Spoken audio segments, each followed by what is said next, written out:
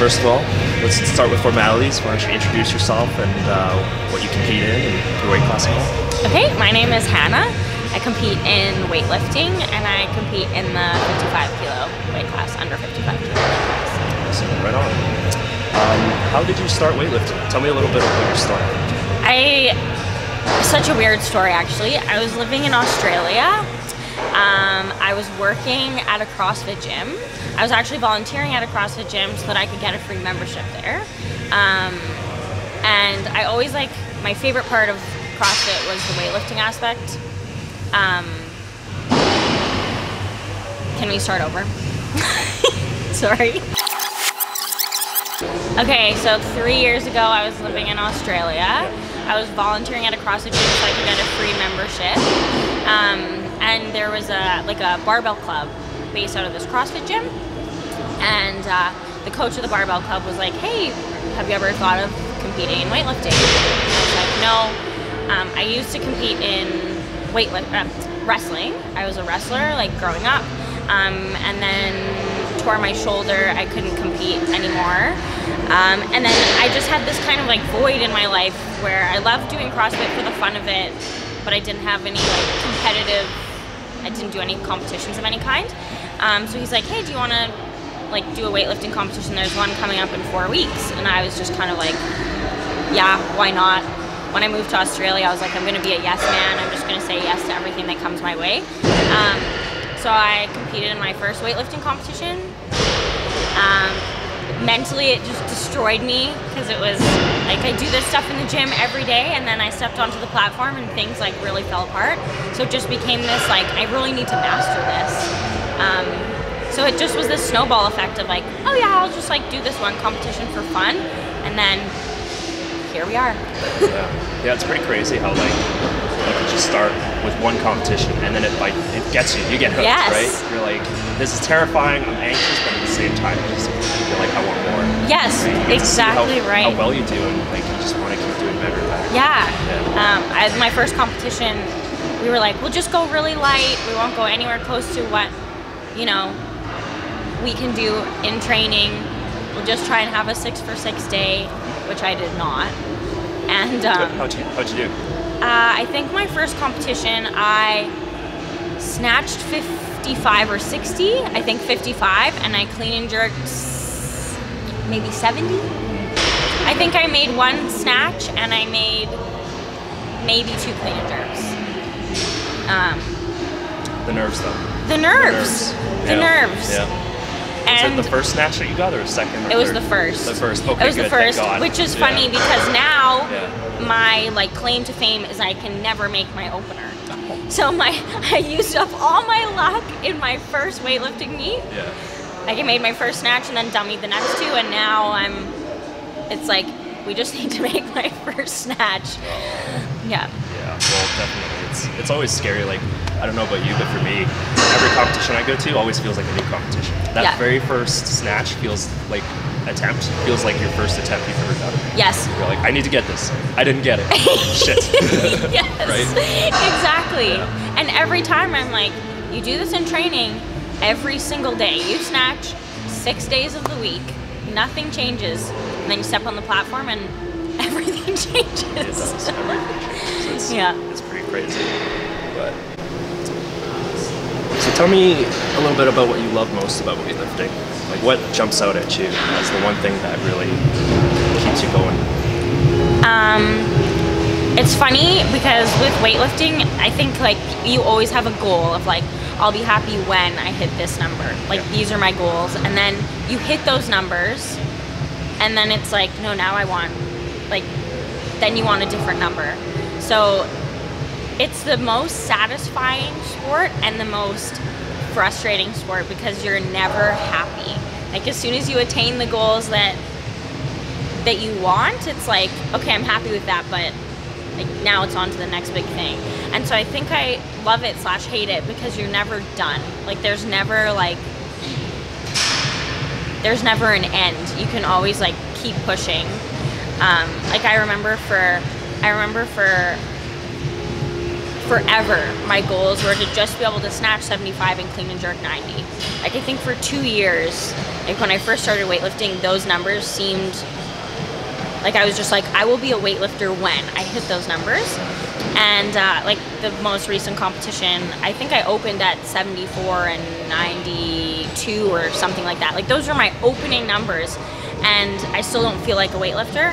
Whereas retrospectively, if like two years ago I had even gotten on my third attempt to those numbers, it would have felt like such an accomplishment. So I think it's such a love hate thing, um, but there's always like it, there's always more to push for. It's funny how part of being a weightlifter is you never feel like a weightlifter because you always feel like this next this next PR is going to make me a weightlifter. Yes. This next little bit, I need to get to this standard. But then when you do get there, you're like, I'm not there yet. It's like it's so similar to knowledge in that the more you know, the less you know. Like the the more you can lift, the more driven you are to hit bigger numbers, or the better your technique gets, the better your eye is for like little things here and there that can be fixed. Like I remember I watched recently videos of like my first training cycle and I remember in that training cycle I was like my snatches feel so good like I'm really improving my snatch technique is great and now watching those videos and being like Yeah. It's like, those are so delete. Don't want to Yeah. see those again. Yeah. and now it's like it's like the better you get the stronger you get the more technically efficient you get the more sort of little fixes you can like you see in those small fixes in like technique or strength gains amount to more kilos on the bar so it's like the the better you get the higher up you get it's like the less you know if that makes any sense Yeah. Um, I know this is probably a similar question to what I asked you earlier, but when you think about inspiration, like what really inspires you about weightlifting?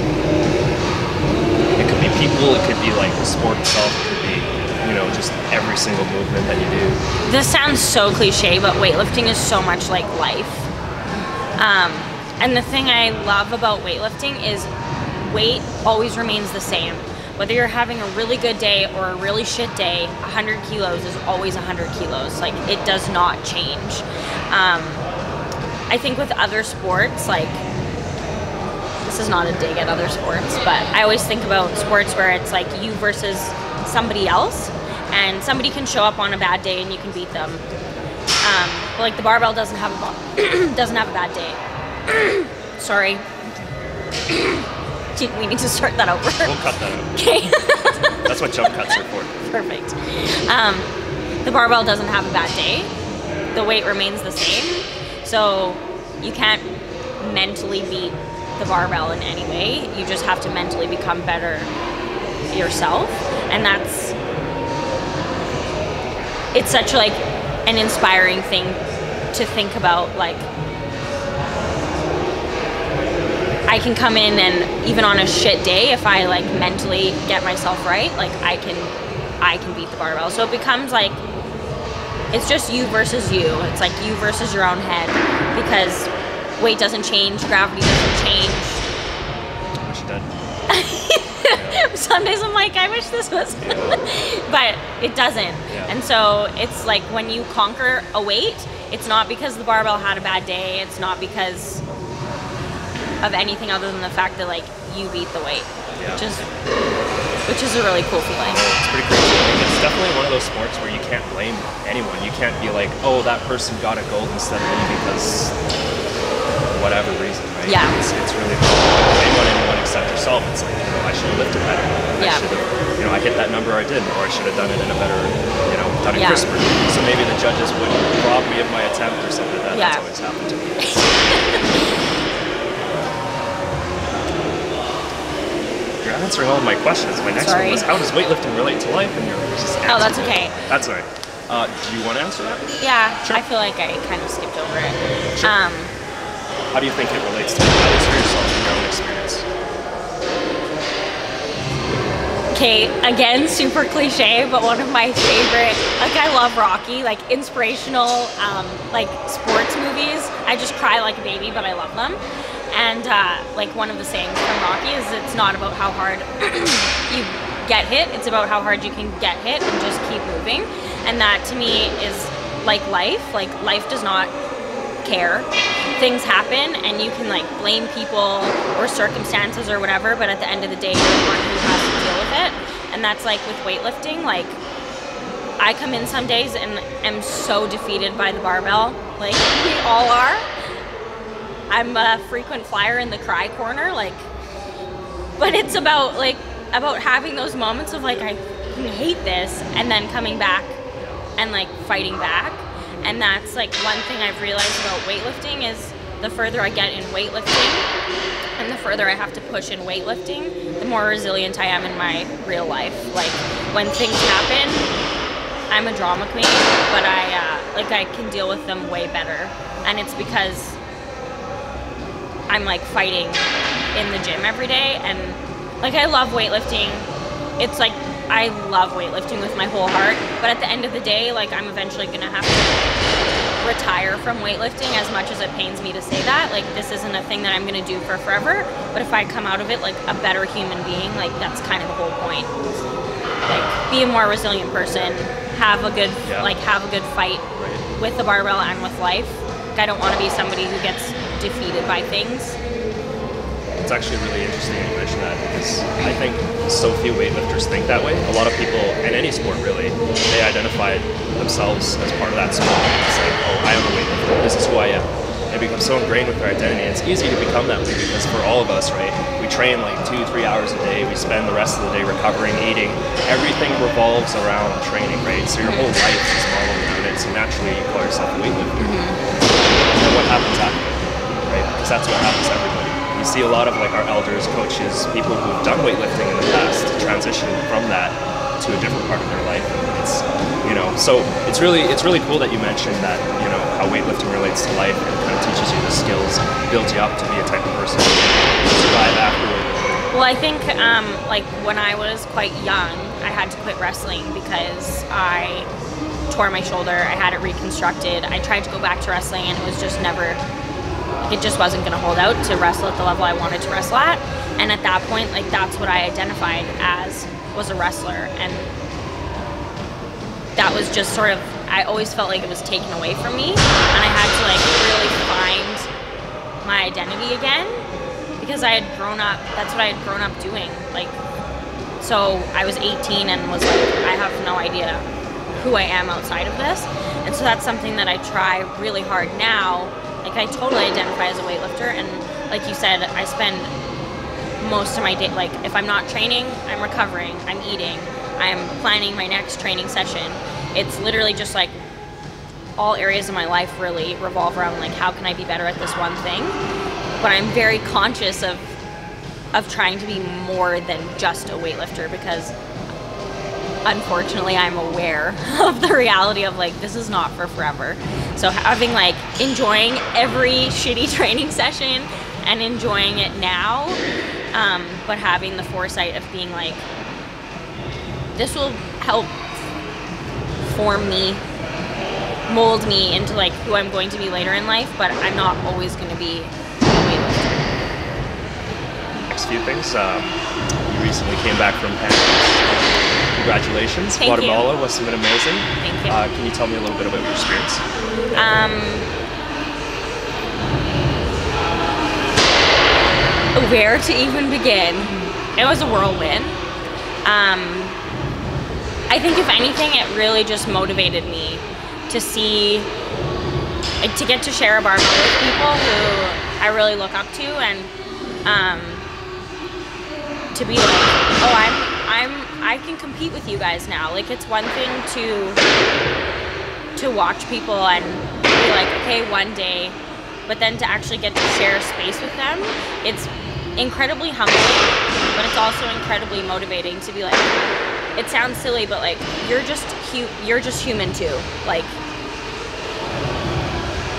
you're not special. Like we're you're just human. So it's it's humbling to see like holy, holy like I have so far to go, but it's also really motivating to be like, oh, you still eat and sleep and like rationally you know all those things, but just like sharing a space with them and like essentially just living in a hotel with with those people, it's like you're actually no different or special. And so it was really it was just so cool to get to like share space with people that are like world record holders and like Olympians and to see how yeah to just like get to share space with them was really cool. And being able to step up on stage, that must have been unreal. I bet. It was it's so funny because we do snatch and clean and jerk in training every day and we talked earlier about how like my first competition I was like that was not what I expected at all. And it was the exact same experience at Pan Am's of like I snatch and clean and jerk every day. I compete like pretty regularly. It's no different. It's a stage and a barbell and that's it. But the international stage felt way different. Like I stepped up onto stage and like I it felt like my first time ever competing, like all over again, which is terrifying, but also it's kind it's kind of like cool that you can still have that like you're never comfortable. Like I've never like fallen into familiarity and comfort in the sport. It's always like, oh, you're comfortable here? We'll push you onto the international stage now. And um, yeah, it was like the back room itself is so different because it, it turns into like a game between coaches and numbers jump around a lot and it was just it was again completely different than than what I was expecting it to be. What was your favorite thing about Guatemala? Oh my gosh. The travel, the uh, culture, the weightlifters. I think it was the weightlifters. Yeah. Um, yeah, and oh no, actually, my favorite thing about Guatemala was the training hall. I loved the training hall. My favorite part about weightlifting to begin with is the training. Like I love training way more than I like competing. But the the training hall was um, it was so much fun. Um, like we got to we trained with the like the Chileans and the Cubans, and it was so cool to watch um, athletes and coaches interact, and they just always have Latin music blaring, and it's hot, like 30 degrees, humid, barbell sticks to your legs. It's just a way different experience than training here, but it was it was so much fun. That was my favorite part for sure. Was the training. Yeah. Let's change gears a bit. Uh, just back to the basics. What is your favorite weightlifting exercise and why? My favorite weightlifting exercise. I love squatting. I love squatting. It's one of us. Yeah. yes. no, I love squatting because there's um, like in all the technical movements, I'm not a very technical lifter, and so I feel like You sure about that? yes. It's pretty technical to me. Thank you. Um, but I just can really like, I get really mentally just jammed sometimes, like thinking about technical fixes and stuff. Whereas with squatting, it's just like, just go. There's no like, it's like just pure grit and strength and like determination and stubbornness. I just love squatting. It's my favorite. All right. Last question for you. In uh, in a few words, summarize in a few words what goes on in your mind whenever you pick up heavy weights. Take your time.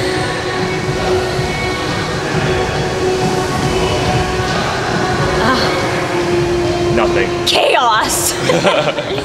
um, no, I used to like run through every cue that every coach has ever given me, and um, lately I've been focusing on like literally in my head I say just go. Um, we work at you know like mid-range percentages all the time, so that when we get to heavyweights where it's like new territory, you're primed and and like your body should know what to do. So I have to remind myself like trust yourself. You know, like your body knows what to do. Just go. Just go. the most Neanderthal response. No, that's very, very succinct. I love it. Well, awesome. Thanks for doing this interview. Thanks for having me.